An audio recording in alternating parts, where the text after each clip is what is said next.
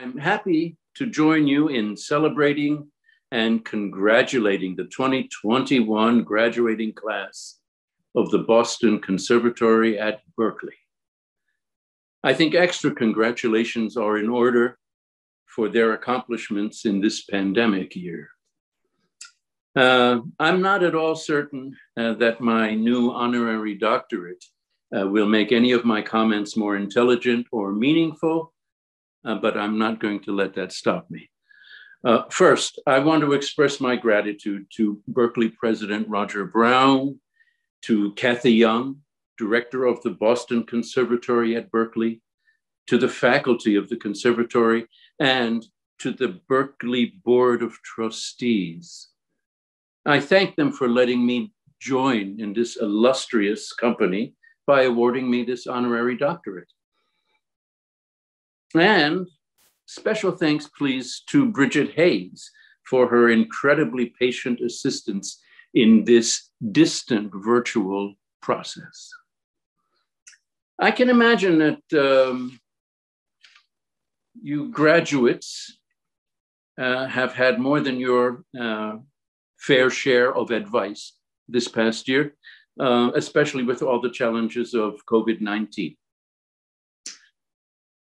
in uh, thinking about what I would say to you, I thought about this business of giving advice.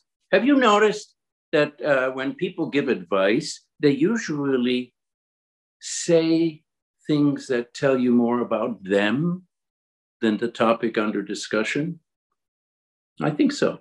So, having said that, I want to give you some advice about advice from my life experience. Uh, I've always liked the saying advice is cheap, but not in a negative sense, rather in the sense of uh, opportunity.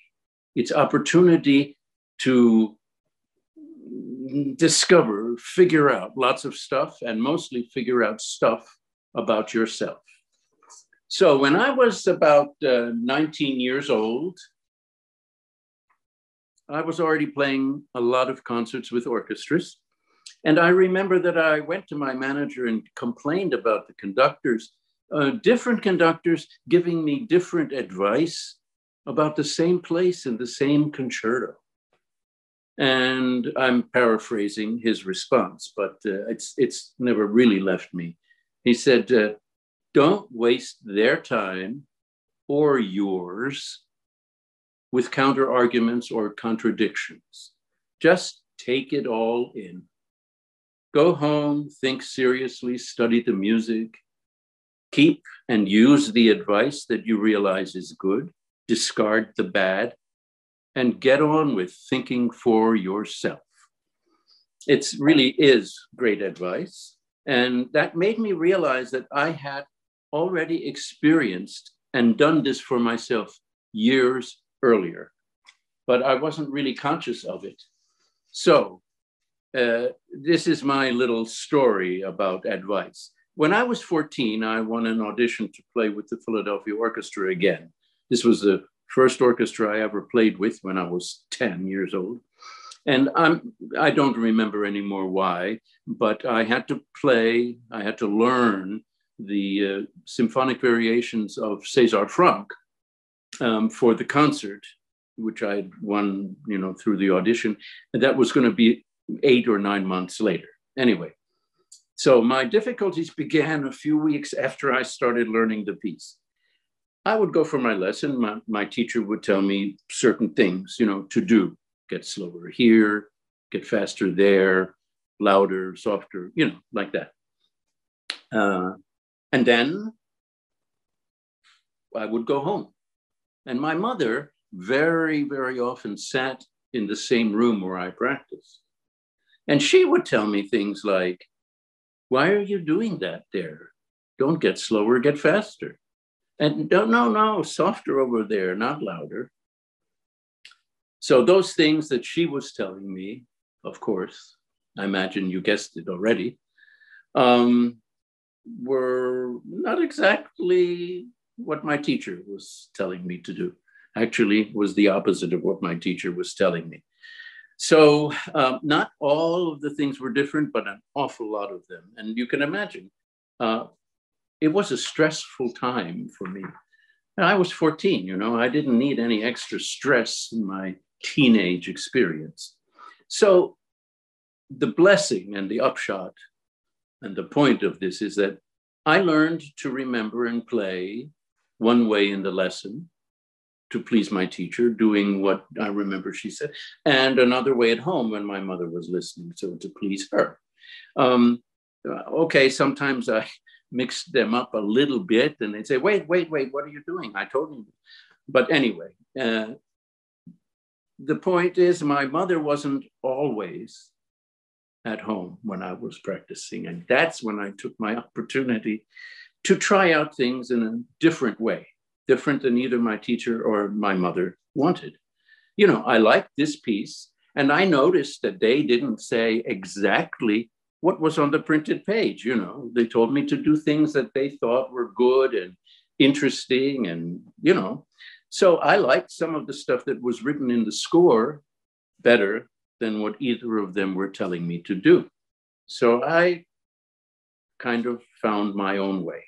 And I was managing these various interpretations pretty well. I kept it straight most of the time. And then it was time to rehearse with the orchestra. Now, the conductor had advice for me. And yep, that's right. It was different from my mother, from my teacher, and even from my own imaginings. So now I had a third person's advice to contend with. So luckily for me, it turned out neither my teacher nor my mother cared for his advice, his directives. And so they didn't really pay attention to the details of what I was doing, that I wasn't really doing precisely what they said either. The point of my story is that in the concert, uh, I got lucky, I played well, and it was a big success.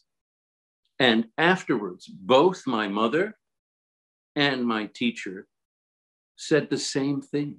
They said identical things separately. And they came to me and they said, That was good because you did it exactly the way I told you to. So, yeah, I guess if I'd had a bad day and an unlucky day and played poorly, they would have said, yeah, that was bad because you didn't do what I told you. But that's not really the point. My advice to you is just hear and listen to all advice. Examine it, examine the topic, accept some of the advice, reject some of the advice, and get out there and think for yourselves. And now here's my last advice. Uh, I hasten to tell you, I'm not plagiarizing. These four or five sentences that I want to read to you uh, is advice from different, a few different people, uh, not original from me. And they are advice givers much greater than I could ever be. Try to live in the present moment. Try to be mindful in everything you do. Try to be mindful and not mindless in everything you do. Try to be kind. It's always good to be kind. It's always possible to be kind.